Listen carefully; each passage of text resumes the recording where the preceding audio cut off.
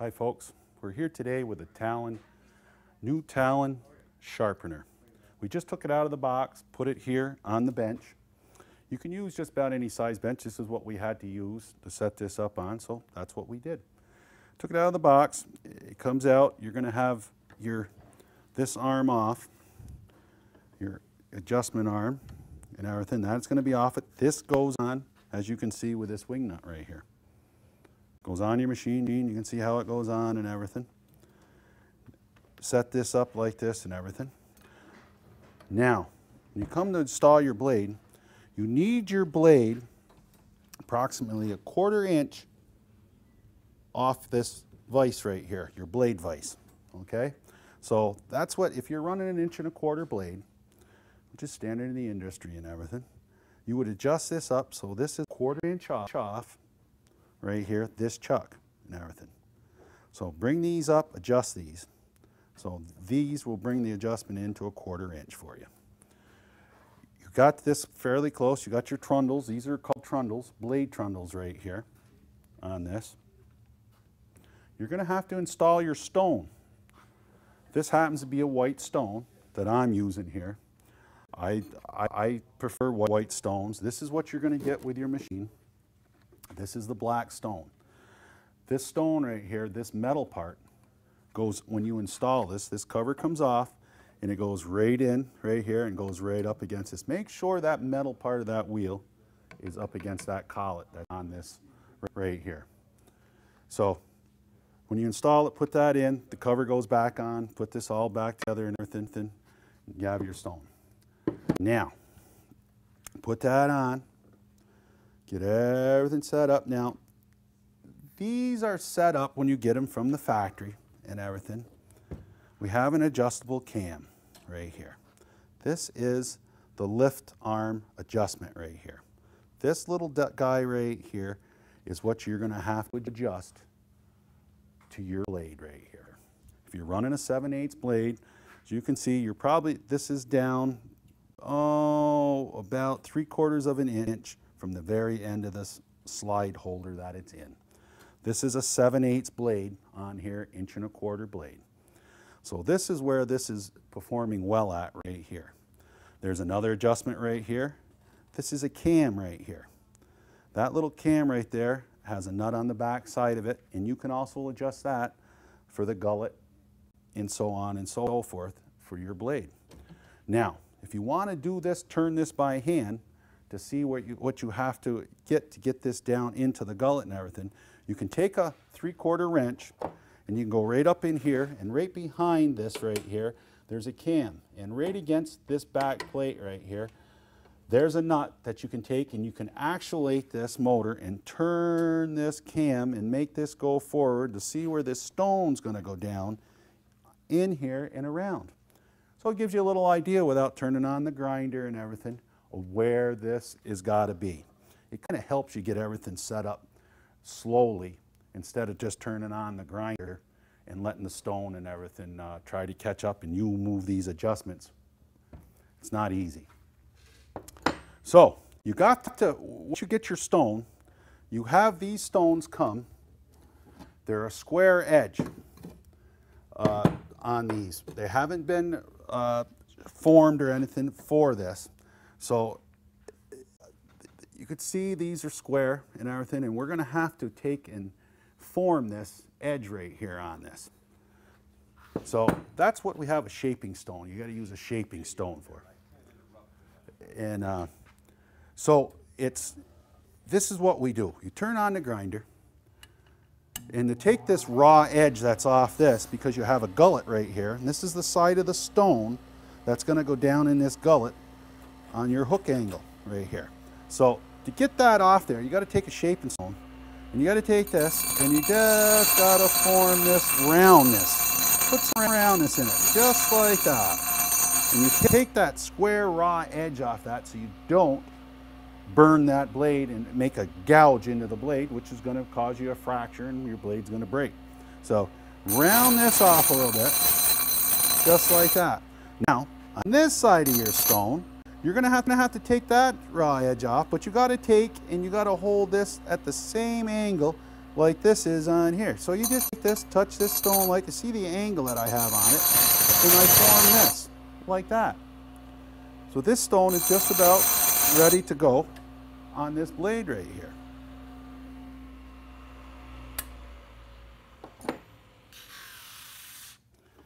Take this down, put it down in this rod, goes right into that holder I showed you right down in there and everything.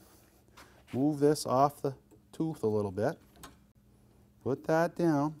Let's turn this motor on and see how we're doing here. Check this, down and look, see where your stone is going and everything on here. Very light.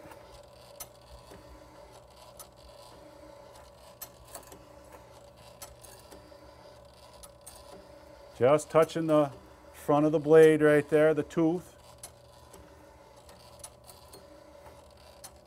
Now, we're going to turn it on.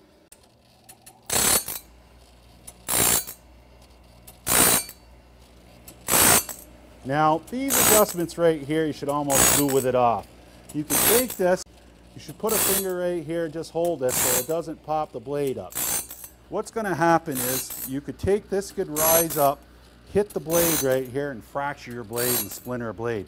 Already done it once today. There's one right there that we did. So this is what can happen right, right here. Your blade can get fractured and everything. See how that is working? Nice, easy going, not burning in the blade. You don't want a hard grind. This adjustment right here controls where this comes down. That adjustment right here. That will take, to advance it, we would screw it in. To let the tooth, so it be, take more off the tooth, we would go like this and turn it back. This is your up and down. We'll take this See how that got a little higher right there? Now watch, I'll turn it up, a little lighter. That's what controls the up and down on it and you're deep into your gullet grind right there.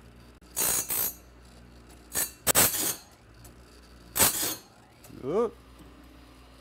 That's what can happen when you're playing around with the with the grinder.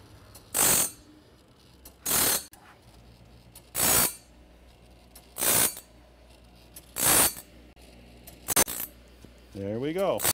Back on the move again.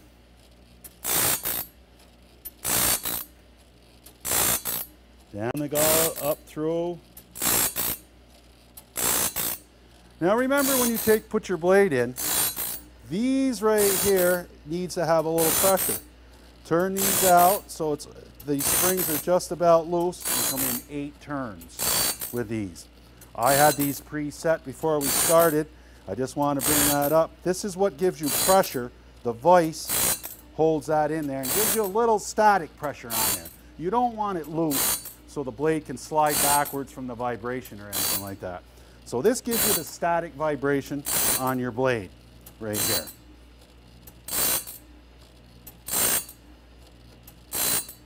Doing very nice grind. A Little heavy, I could just, could just Pretty nice grind right there. You don't want to be burning your blade. That's what you don't want to do. Not heavy grind. I'd rather see a blade go around twice than one heavy grind. It's better to grind a blade twice lightly than it is to blade, grind a blade very heavy. Taking blade life way off it. Make sure this blade is clean when you put it on your grinder. The back side of it will sometimes get built up uh, get a couple uh, pan scrubber. Uh, they're the green, green uh, I forget what you call them. They're like a pot scrubber. You can take and sandwich that between these and clean these blades clean. It is, it's very good to have them clean to go to your setter when you're done with this. So that's why you got to have a clean blade to uh, sharpen and to grind. Cleaner, the better. You'll see once you get a, you'll get one. You'll see that.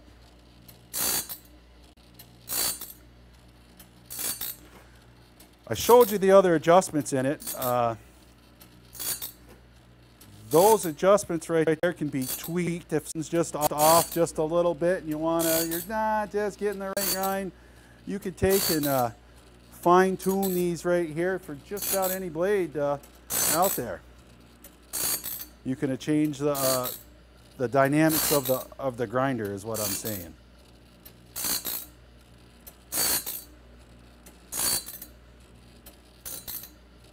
See that right there, right there? Just that much little touch lightened up the grind on this right here. Never heat your blade up. If you don't heat your tooth up, you'll keep your set. Heated blades up can lose set.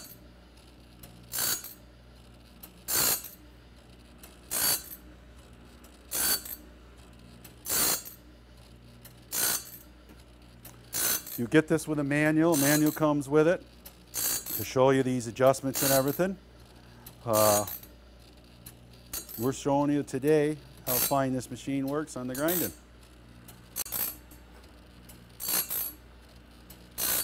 We'll take this when we're done grinding this blade. Once that mark right here comes all the way around, you see we start out our weld just like we would if we're going to go, when we bring this to the setter, we mark this with a magic marker and that's where we start. When this gets around here, we know we've been once around this blade.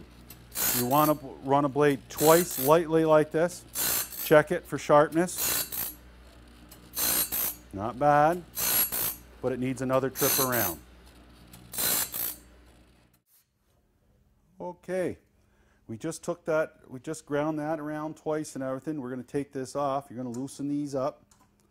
You'll be ready for your next blade like this, pop this out of the way, run that like that, and just lift that blade right up out of there. That's as simple as that. Now, you're going to be heading to the to the uh, setter, and you're and you're going to be, we're going to show you how to deburr this when we get over to the setter and everything. So we're ready to go to the setter. Uh, as you can see, we have safety glasses on. Grinders will throw stone and throw metal up. You don't need anything in your eyes. It's a definite thing. Gloves, and safety glasses when using this, this machinery right here. Same thing as with the sawmill, it was with this. This can really do some damage on your eyes right here when you're getting down there, adjusting, looking at this. Put some safety glasses on, folks. It's your eyes that you have. So you can't waste your eyes. Put them on. Uh, any problems with this uh, machine, give us a call here at the, uh, at the office. If you feel freely to give me a call up in the Northeast, I'm on the website. We'll, uh, we'll help you out on this. Uh, it's a good grinder. You're going to be happy with it. You just got to get it adjusted. We showed you the adjustments on it, and uh, you're going to be happy with this grinder. Hi, folks. Bill Mitchell again from TimberKing Northeast. We've just taken this blade off the grinder, and we have to deburr it. What I mean by deburr it, there's a little film that gets right here on the back side of this tooth from the grinder.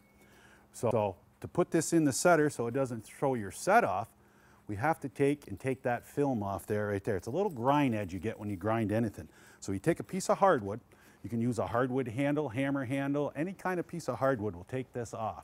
So take this and go on the back side of your blade and, and run this just like this. You notice that what I'm doing, I'm keeping the blade off the floor and just rotating this around on the heel of the blade and taking that grind film off. Now I'll go around this just twice and that should take, a very good, and there's the start from the weld. And that's what we're doing, is taking that off. You have to take it off or your blades won't set. One side is going to be set heavier than the other. That's why we have to do that. Hi folks, we got this setter set up now on this plywood. As you can see, took it out of the box, set it up, got our blade trundles all out there and everything. This is a dual tooth setter, Talon tool, dual tooth setter. This machine right here will do two teeth at a time, advanced, one handle advancement as you can see and everything on this. We push it forward, it moves it, it comes back, brings the blade, advances his blade on, on the holder through it. What we have here is this screw right here will adjust the blade pitch throw. If you have a 7 8 blade, blade on here, you have it adjusted for that. If you want to put a 3 quarter on this, of course you would turn this up so only the 3 quarter would fit into these two chucks right here. These are where your chucks are mounted. The, the adjustment on these chucks are on these screws right here that hold the chucks that push the teeth.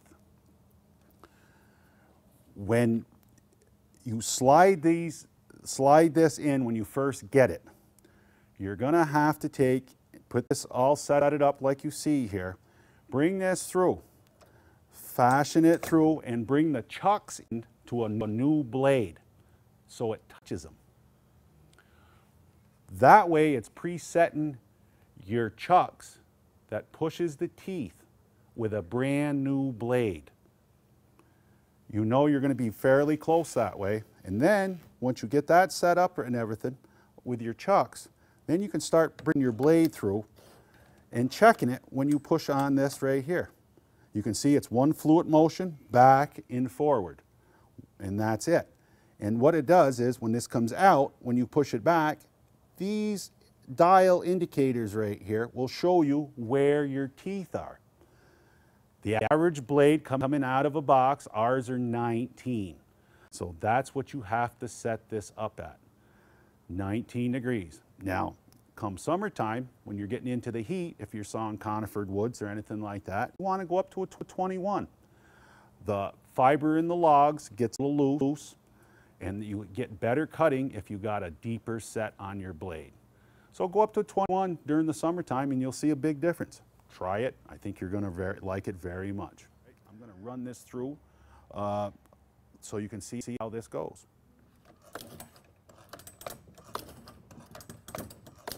Simple fluid, back, forth, checking the set while I go, keeping my eyes on it, making sure everything's going through. Now when you start this blade, you always start with your weld just out of the chuck.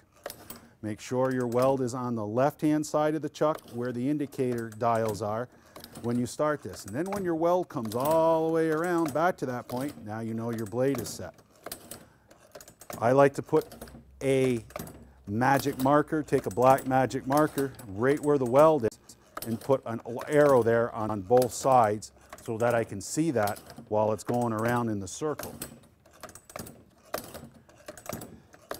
Probably takes uh, an average of two minutes to set this blade and to have it dead on.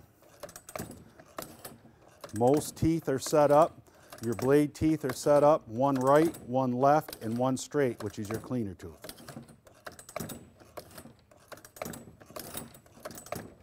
You can see no pressure, no nothing on it. Vance is very nice on this machine. We're coming up to our weld. Here's our weld right here.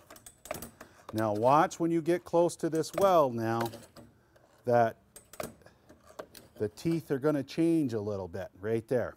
And that's where the teeth change. So that's how we set a blade right there. Two teeth at a time. Takes approximately about a minute and a half to two minutes to set this blade.